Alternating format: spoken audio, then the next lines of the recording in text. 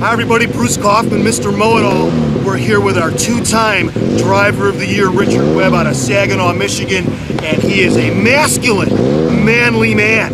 And look at this face. Look at this. Masculine, manly face uses face lube.